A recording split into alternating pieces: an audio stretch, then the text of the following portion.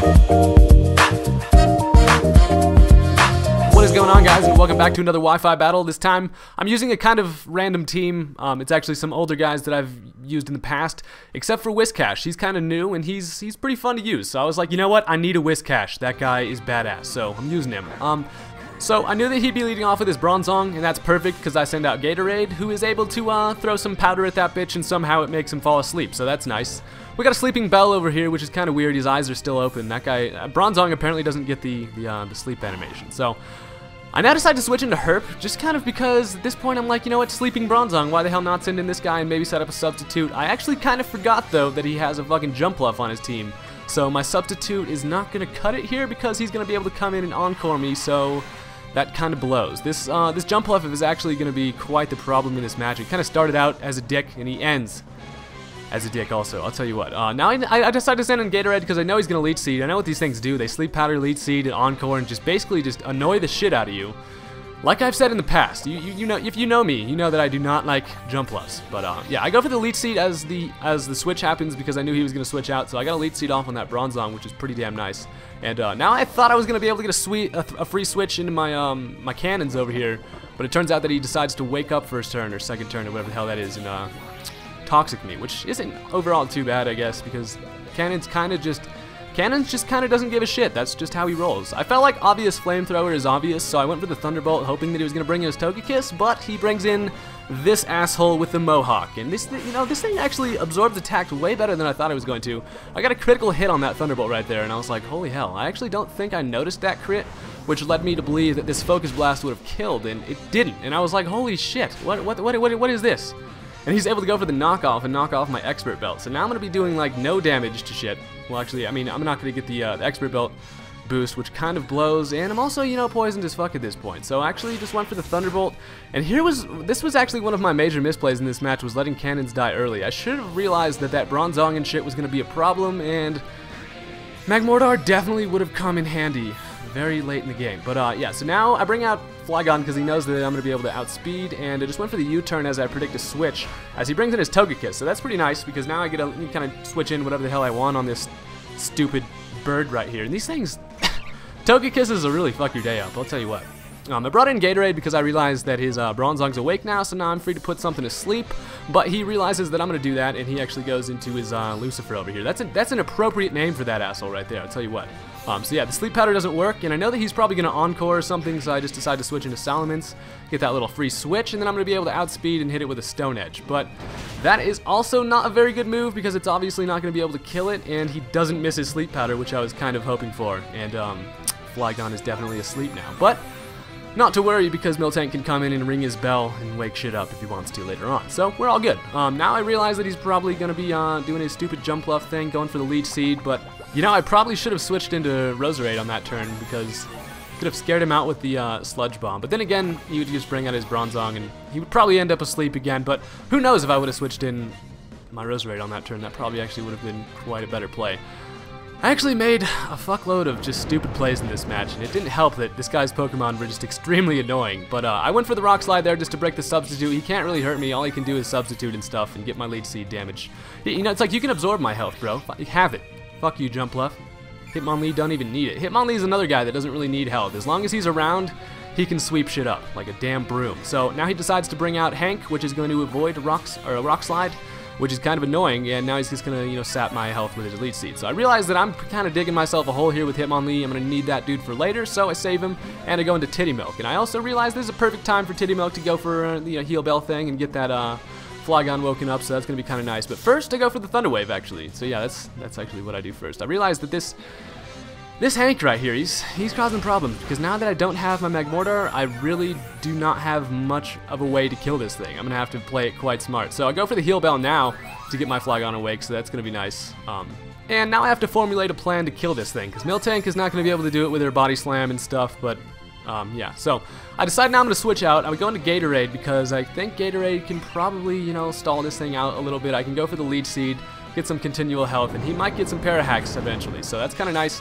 Um, Roserade takes an Earthquake, lives it with 69 HP, Giggity, which is pretty awesome. And uh, now I go for the Sludge Bomb, actually predicting the fucking Jumpluff to come in, and that would have been a clutch play right there. He was, I, I was expecting him to predict the Leech Seed going into Jumpluff and then dying to the Sludge Bomb, but he actually just kind of wants his Bronzong to stay in here and just kind of do damage. He actually goes for the Toxic, uh, maybe thinking I was going to switch or something, but yeah, definitely negatory on that one. Uh, so now that this thing is leech seeded, there's really not much that he can, can do. I'm getting Black Sludge and Leech Seed and shit, so I mean, Rose Roserade's looking good. I decide to switch him out because now I go into Salamence thinking that he's going to switch also, and it turns out that he actually just stays in and goes for the Toxic again. I was like, why would you toxic on my Roserade? I don't I don't understand. Roserade needs another move to be able to hit this thing, but I could have stayed in and Giga Drained it, which would have been the smart move. I would have taken more Leech Seed and stuff, but you know, whatever, shit happens. So I tell Salamence to go ahead and U-turn, um, just realizing that I can't one-hit KO this thing. The U-turn actually activates its red card, which kind of sucks because I can't choose what I want to switch into, and it, red cards would be into Gatorade, which overall blows massive dick because now Gatorade's going to take this Gyro Ball and then die, which was really just kind of sad. I was like, really? What, what, what the hell? I'm getting fucked up by this Bronzong all because I let my Magmortar die already. Damn it. That Scraggy, fucked me up. But yeah, so I bring in my Miltank as he predicts the body slam, bringing in his uh, Chandelure. You know, I would actually like to watch Titty try to body slam a ghost type. That would be pretty funny. Uh, just fly right through him. But yeah, so I predict this thing to be. I don't know what kind of Chandelure this thing is yet, and this was my first, my other mistake. I fucking bring in Salamence as uh, I get tricked to choice specs, which absolutely blows because that was actually a major major play in the game right there, and it kind of fucked me. So now I'm restricted to one move as if I were Choice Scarfed, except I just don't get the speed from it, which absolutely blows. Now he brings out this Togekiss, which would have fucking taken a rock or a Stone Edge to the damn face, but he actually uh, misses it and then decides to decides to switch out into his Scraggles, just kind of uh, to get the Intimidate, I guess, and then to just pretty much just die. I, he actually takes the Stone Edge, which I was like, what the fuck? How defensive is this Scraggy? Like, oh my god. I mean, I understand the intimidate and then the, the resistance, but holy shit. Uh, luckily, I hit the second one. I didn't miss. I didn't miss this, the next stone edge, which is like, whew, holy shit, thank God. And uh, Salamence is actually just taking mad toxic damage out here. So now he brings out Hank, and I'm just like, okay, I'll save this uh, choice specs physical attacking Flygon for later, and now I bring out Herp, and Herp is going to go ahead and take a Gyro Ball. I know that Herp can take these attacks, and I actually made a really bad play here not going for the Dragon Dance on the first turn, as I just go for the Waterfall, which is shitty because um, I knock myself down to 68 with the Life Orb, and then he goes for the Earthquake, which doesn't kill me, and then I was like, you know what, now I'll Dragon Dance and hope that he gets Parahaxed, and that would be really awesome because then I could have all the speeds I want, and he doesn't get Parahaxed, which kind of blows, but it's not like you can just expect it. And that right there is a sad Whiscash. Look at him. Look at how sad he is. How do you feel about this, Domenic? How do you feel? um, so yeah, that was kind of a failed maneuver right there. Now all I can do is bring in Salamence, and I actually just kind of go for the Stone Edge, expecting it to... I don't know why I was expecting it to kill. I was like, maybe this won't be a physically... A physical attacking Bronzong, and I literally didn't have any other move to go for. Um, if he would have switched, Stone Edge would have been the only move that I could do. But yeah, so he didn't get Parahax and he's able to kill my Flygon. So now I bring in Last Resort Hitmonlee, which is just kind of gonna go for the old fake out, knock it down with a critical hit to like 1 HP, and then I get my Unburden boost, so now I'm fast as hell, and now it's like, okay, let's see if we can rip shit apart here, Hitmonlee. So the Bronzong is finally dead. That was like what I've been wanting to see this whole damn match, that stupid Bronzong sinking into the battlefield. But uh, he brings out this Weavile, I'm thinking just to trigger me into close combat, as he brings out this Jumpluff, and what, I don't really know what he was thinking. This Jumpluff's definitely going to die. Uh, maybe he was thinking he was going to be able to Encore me, so then he, I wouldn't be able to touch his uh, Chandelure or something, but yeah, so that thing's dead as hell. We're, we're making some progress here. Now he brings Blackout back out Black Ice, and uh, he's going to be outsped and close combated to the face, which is awesome as hell. And that thing's dead. He, that Weavile did not get to do a damn thing in this match, so that's perfect. So now he's going to bring out um, his Filamental again. And I was actually worried about him being able to outspeed with that Choice Scarf and then killing me, so I went into Titty as he uh, goes for the Shadow Ball, I believe here. Yeah, he goes for the Shadow Ball. It doesn't affect Titty Milk, and I was really hoping to be able to get a, um, a Thunder Wave off on this fucking asshole of a Chandelure. But he brings out his Togekiss, which is going to uh, take that Thunder Wave and not really give a shit. And my Miltank is not really going to be able to hurt this thing, honestly. I can sit in here and Body Slam all I want. I really can't switch into my Hitmonlee because I don't want it to take an Air Slash or something and die.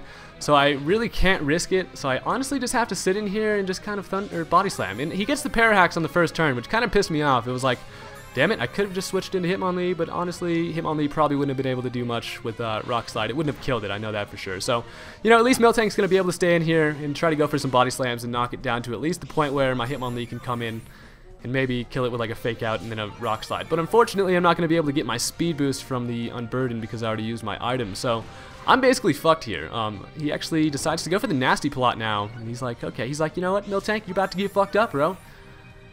And Miltank's kind of accepting that at this point. He's paralyzed. You know, at least I'm faster at this point. But um, I'm able to get off as many body slams as I possibly can, which was perfect. I get it down to like half, and then he goes for the air slash, which doesn't kill Miltank, gets me down to like 55 HP, which is perfect. And then I'm like, okay, hopefully I can get another body slam off because then I feel pretty confident about Hitmonlee being able to come in and rock slide that hoe. So I do get another body slam off, and then he's able to uh, kill me with an air slash, which is, you know, that's fine by me. Miltank pretty much did all he could do against this thing, you know, you know, and I'm proud of her. You know what I mean? so now all I can do is bring in my uh, my my kung foot, which is surprisingly shaped like a chicken leg, and I can fake this thing out, smack it right in the stupid bird face, and then I can kill it with a rock slide. So this is coming down to basically if uh, that Chandelure can kill me with an attack, which it definitely can, and now that it is uh, Choice Scarfed, it's going to be able to uh, outspeed my ass, and it would have been nice for Hitmonlee to keep that unburdened, because that would have been fucking sweet, and I would have been able to fuck that Chandelure up with a Rock Slide, but unfortunately, this guy comes in, his shiny Chandelure is gonna spit some flames at me, and that is the end of the match. So, that was a really good match, I had fun, it, really came down to me uh, playing my Hitmonlee right, but that was really, you know, it was a well played match on both of our sides, and I had a fun time doing it. So if you guys enjoyed this battle, click the thumbs up button on the little bottom left of your screen there, and that would be appreciative. Thanks, guys.